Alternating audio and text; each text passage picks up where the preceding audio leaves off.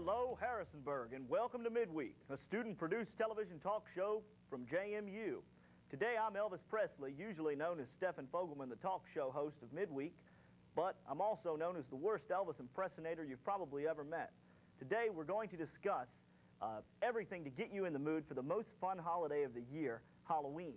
We're going to start right now with Arlene and Glenn Reed from the Reed's Patch at the Dayton Farmers Market in Dayton. Arlene and Glenn, Thank you so much for coming out today. We're glad to be here. I'll bet you all are real busy right now. Yes. Fall is a big time for us at the market. What else? Uh, I want to get into to, into your wares in just a minute, but are you open? Is the Dayton Farmers Market open uh, every day of the year, or? We're open all year round. We're open three days a week. We're open on Thursdays, Fridays, and Saturdays. Uh, trying to make it a uni unique and special place for people to come. Uh, Arlene and I have the produce section, uh, where our specialty is fresh fruits and vegetables and some fun things like pumpkins and gourds. And uh, we bought a few of them here today, but we have some fun down there. Now, there's a lot of people out there watching. I know you probably wouldn't believe this, but there are some people who don't know the difference between a pumpkin and a gourd. So could you just tell me, Arlene, uh, briefly, the difference? I would believe that there are a lot of people who do not know the difference. It is something very easy to, to not know. Um, a pumpkin is something you eat, a gourd you do not. Um, a gourd is usually ornamental and hard. It'll, it'll keep sometimes indefinitely, especially if it's picked when the vine is mature, not green. Um, it would be somewhat of the squash family, the gourd would, and the pumpkin is obviously a pumpkin, I guess. Um, I'm not sure if there's a lot more difference there. But well, where did, I mean, how did people start using gourds for, for ornaments? Well, Have they been around as long as the pilgrims? Or? I'm not sure about that. There's a lot of demand for them. Uh, decoration, Indian corn and corn uh, and gourds go together well. Uh, pumpkins, of course, everybody knows uh, pumpkin pies for one thing. These little guys right here uh, are what they call a sugar pie pumpkin. Uh, they're good for turning into pumpkin pies if they're not painted. the other variety that we carry at the Dayton Farmers Market is bred specially for uh, jack-o'-lanterns. It's a tall pumpkin, gives you a nice smooth face. I don't have one of those along today with us, but uh, we decided we'd put some faces on some different things. Uh, gourds, like you're holding in your hand there, uh, we have a local artist, a friend of Arlene's, who uh, paints, and she'll paint on just about anything. And we've taken some gourds up to her. For two years now we've been doing this. And each one develops a little personality when she gets, gets the brush and, and gets to work on it with the paint. Uh, this year we've tried uh, taking some of our sugar pie pumpkins and instead of turning them into pies, uh, we're painting little faces and scenes on those. We've got squirrels and cats and Canadian geese, and all kinds of things for fall. Is this the first year you've done this then? With the pumpkins, it's the first year. They're gorgeous. I mean, it seems like something that uh, somebody would have thought of a long time ago, but I, I've, as I said before, I had never seen this before until today, uh, and I think they're really beautiful.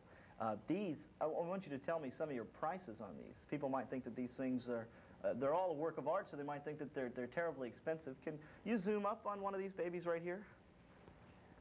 Those particular ones that you have right there uh, will go for under $2. Uh, we've got lots of little gourds, but just a few with some faces on it, and take some time to paint them. Uh, so under $2 for him, and roughly $3 for uh, a young lady with a bonnet like this. My goodness, I, that, that to me is exquisite. And, and how long did you say it takes for her to do something like that? Usually about a half an hour to paint one like this size uh, or like the one you're holding in your hand. Um, 45 minutes at the most.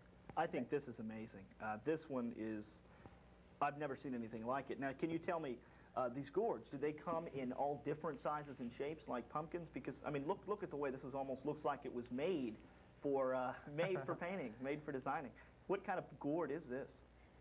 It's just a gourd. Uh, I guess it doesn't have a special name. This is what that was before it was painted.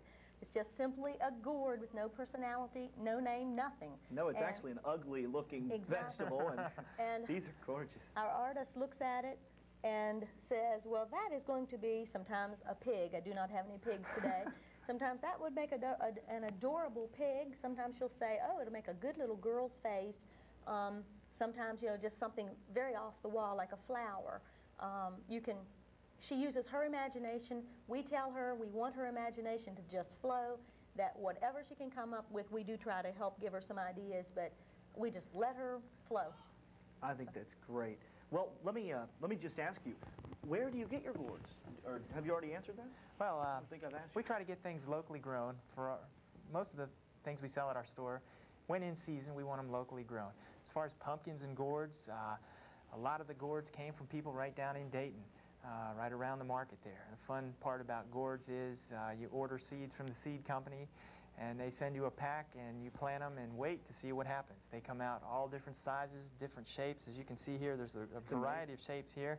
They come with crooked necks and wild colors like oranges and greens and yellows sometimes. So we get a, a multitude of different things with gourds. Uh, pumpkins, uh, we have a primarily one grower we buy from, and he's located down near Weyers Cave. Uh, I take my truck down to the patch and get out there and load pumpkins right in the fields with them and bring them back. Do you just, uh, as with gourds, and do you go and pick up gourds from him too? Yeah. And do you, uh, when you do that, do you um, look for any particular sizes and shapes? Do you look for any funny shapes, or do you uh, just go ahead and take what he's got? I'll tell you, you just take them as they come. Uh, everything that gets in the way gets loaded on the truck. then we do the sifting when we come back.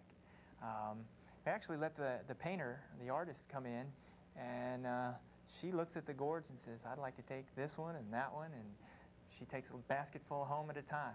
Uh, we gave her 10 pumpkins uh, a couple weeks ago, and she took them home and called us at, what, 7 o'clock the next morning and said, hey, they're ready to go. So That's she, something. she really enjoys it. We I'm- try to make Halloween fun, too. This is fun, and you say that these will, these can last? Yes, if the gourd is not picked while the vine is too green, it will keep indefinitely, sometimes years, some, depends too where you put it, like you can't just stick it in a refrigerator or somewhere like that where there's a lot of moisture. It certainly would not belong there. Um, a cool, dry place, um, dry ahead of anything. You don't want to keep it in the hot sun, it will fade and the color will turn. Right. I wanted to mention too that a lot of the gourds that we buy are children's projects. We have a lot of local children from the Dayton area who plant these uh, for a little project of their own. Some of them are handicapped, a lot of the children are not. But that's primarily where we try to buy them. Then we fill out with some of the larger um, growers who might have some as a sideline. So, Well, you know, I was just thinking that uh, this thing, if it, if it takes, you say, about 20 minutes to paint something Yes. like this, and uh, you only charge $2 for it, that's uh, quite a deal, and, it, and it's going to last. What is the name of, of the lady who paints these? the girl that, or the lady that paints them's name is Eva Rohr, and she lives in Dayton. Um, she's just a very gentle person. You can tell by the personality on You sure her, can. on the especially on the eyes of each one of the little um, people, gourds as we call them, or gourd heads. These are called gourd heads, incidentally. Gourd heads. Um, yes. Um, we've had a lot of fun with that too. Um, she's a very, very private person, uh, very shy, very modest, and uh, I don't know. It's just a way for her to express some of her artistic talents. Right. She's untrained or self-taught, I should say. Self-taught. She It's- is trained. It certainly is. Yeah, she's certainly good. But um, Eva Rohr is the lady's name. Thank you very much. I, um, I'm just, I think it's a great gift because I uh, just carved a jack-o'-lantern on, I think it was Monday, and uh, last Monday, and when I came home for this weekend, I found that the jack-o'-lantern was, it, it had already melted, how they, how they do. So these things, to last for such a long time, and they, they look so, so good. Uh, we'll have to go down and, and visit you down there. When, do you- when do you all uh, liquidate these things? When do you, Oh, we uh, we try to keep them all fall. We sort of change the theme as the season goes along. Right now we're in Halloween, so we've got cats and and uh, fall scenes on the pumpkins and things like that. But uh, we'll transition some of the gourd heads into uh, pilgrims, and then uh, hopefully right. Santa Claus will come along with okay. uh, with a gourd head or two. We're going to be right back, and uh, thank you. You do stay tuned. What was your all-time best Halloween costume and describe it? I was Wonder Woman, and I had like a little leotard on and had stars on it. It was just like the Wonder Woman costume. I was a ballerina. It was like third grade. I'd have to say uh, Ace of Spades. It's like you know, a nice box came over Ace of Spades. Uh, it, was, it was a good costume. I dressed up as a nerd once. Greased back my hair, horn rim glasses, the whole bit.